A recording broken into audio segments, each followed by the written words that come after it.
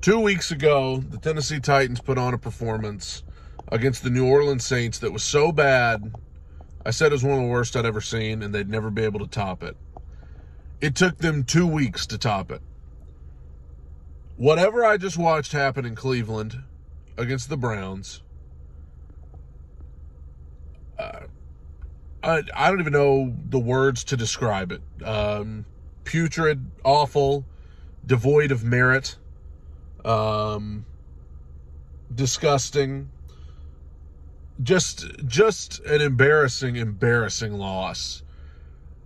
And some of you Titans fans are already just falling all over yourself to try to find one person that you can blame it on. One player, one coach that you can look at and say, man, if we could just get them out of there and replace them, we'd be fine. And I know that's convenient and that's an easy thing to do. But I got news for you. This loss today and how awful it was, this was a team effort. This was a team effort today. Nothing was good. Today, on that field, nothing was good. Not just that nothing was good enough, nothing was good. Offense, defense, special teams was all bad. All bad today. So before you go trying to look for one particular person you can just blame it all on, you need to check yourself and realize it's a lot more complex than that because this is a team effort, this loss today. Let's start on offense. You know, we got a little glimmer of hope last week because they were able to put together a a few possessions against the Chargers, for which the Chargers should still be having an answer for this week, seeing their other two performances, the Titans, I mean, against the Saints and Browns. But literally, nine of the last 10 regular season games it has been some of the worst offense I've ever seen. The Titans couldn't even get 100 yards of total offense on a day where the Miami Dolphins scored 70 points. I don't even know if the Titans are going to score 70 points all year, like combined. I think there are some uh, people on this offense who have not lived up to expectations so far. I think that people talk about Tim Kelly to play calling. I, I, don't even know what play you would have to call that would succeed. I, I would like to do away with the pitch to Derrick Henry up the middle. It, it's never worked. It's it's never provided any happiness or joy in any of our lives in five years. And, and let's just throw that one out. But offensive line, my my gosh, there's two things I want to say about this we knew going in Myles Garrett was going to be hard to block, right? We knew that. We still put our left tackle out there alone and tasked him with blocking him by himself. And there were even times when we put our backup tight end against him and said, good luck, including on the last play of the first half when we were just trying to get some points before the half. And the very thing you couldn't do was either take a sack or commit a turnover. And that was the play where we chose to put our left tackle, who'd been getting killed by Myles Garrett all day, one on one with him. And that, of course, led to the easiest sack of Myles Garrett's career and no points at the end of the first half. That's on everybody. That's coaching, that's offensive line, that's that's everybody. That's everybody. I have never seen a team go out there and I just know there's going to be a sack every possession. I'm just waiting for it. When's the sack gonna? When's the sack gonna happen? First, second, third down. Well, we know it's coming, but it's just you know at least one of them. And today it was just almost to the point you had to laugh I think when Skoronski's able to come back, we need to put Radunz at left tackle and Skoronski back at left guard and go with that. But I mean, even that, like, there's so much wrong with this team right now.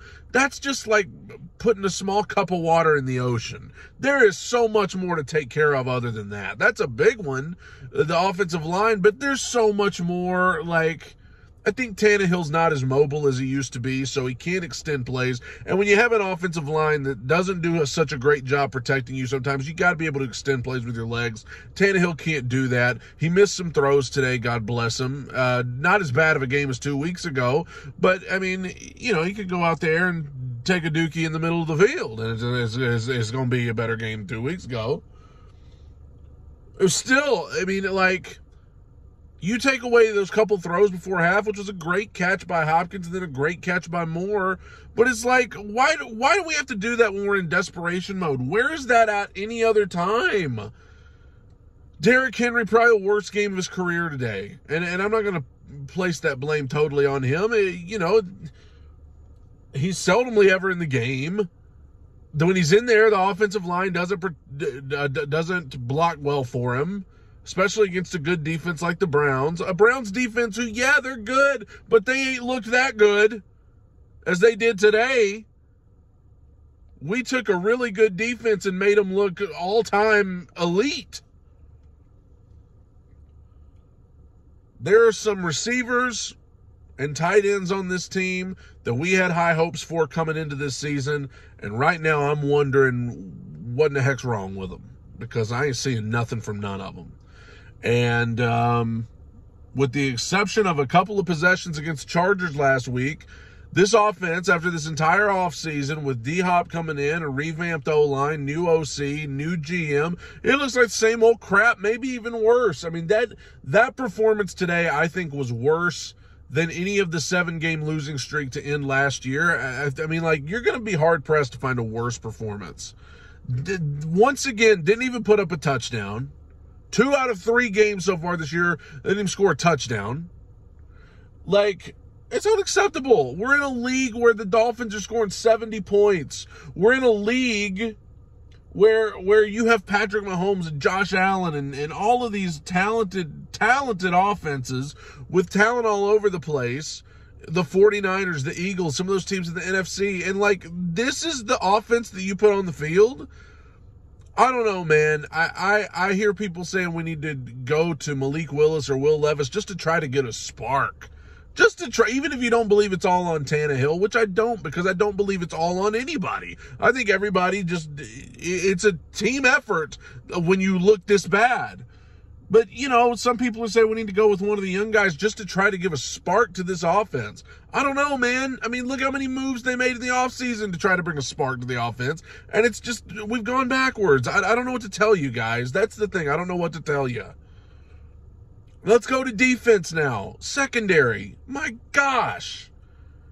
Kristian Fulton, Amari Cooper just having his way today penalties, and we got to talk about penalties across the board. How undisciplined is this team? Uh, penalties for the first three weeks, pre snap penalties. 12 men in the huddle today. What are we doing? False starts and, and defensive pass interference and defensive holding and roughing the passer and all of this stuff. It's, it's just like, that's on everybody. That's on coaching. That's on players. It's, it's ridiculous the secondary just got torched by a dude in Deshaun Watson who hasn't played meaningful football in three years. And the couple games he has played some meaningful football, he's looked bad. We're talking about a dude in Deshaun Watson who tried to throw the pass backwards today, and it ended up being a touchdown drive, guys. He threw the ball backwards into the backfield and lost 16 yards, and about three plays later, they were celebrating in the end zone. I saw a tweet that said the Titans are trying to outdumb the Browns. They did. They didn't try. They succeeded in outdumbing the Browns. If a quarterback's going to throw the ball backwards into the backfield like a moron, then my stomach's growling. I can't even I can't even fathom how you could let that that dumb of a play get let off the hook. What else? Special teams, whatever. That's uh, I can't even bring myself to talk about special teams. I was told this front four for the Titans was going to have a field day with the Browns offensive line. Well, uh, hello. What we waiting for? this is as disappointing a performance as I've seen, and that's saying something. And to make it worse, I just watched the Colts beat the Ravens with Gardner Minshew. Like, so there's an AFC South team who's now in sole possession of first place in the Colts at two and one. And so where do we go from here? I don't even know, dude. I, I don't because it's it's week three. It's not week thirteen. If it was late in the season, you just say, okay, we're just gonna tank it the rest of the way and hope to God for better days in the future. But like you it's week three. We have 14 weeks left. 15, actually, if you count the bye. So I don't I don't I don't know we can't just start tanking now. We got too far to go. So how do you salvage this? How do you how do you make what we saw today better? Yes, getting Skoronski back's going to help, but like, what are you going to do to help this secondary? What are you going to do to help to help get more threats in the receiving uh, passing game? What are you going to do to help your quarterback? Like, wh- there's so much wrong. There is so much wrong with this team right now. I don't even know. I just feel my thoughts are all jumbled up. It's just like, what are we even doing? What are we even doing? I, I just, I don't even have it in me anymore. It's only week three. I'm already sick of this. It doesn't even surprise me anymore. Y'all got all, you know, and I say y'all, me too. We got all excited after we beat the Chargers. Oh, we're, we're gonna, we're gonna go on a run here. Yeah, we're on a run. Look like we had the runs. They're gonna give me the runs. It's, it's ridiculous, man.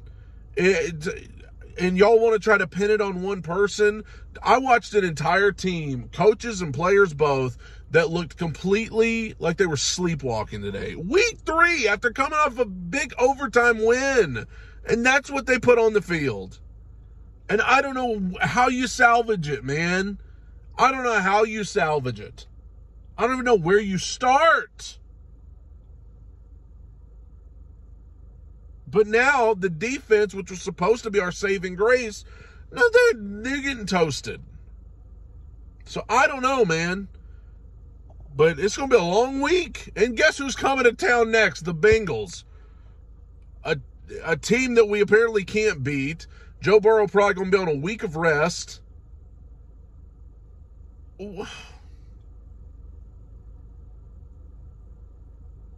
Whatever, man. Like Ain't nothing I can do about it. Ain't nothing I can do about it. Tighten up. Bye.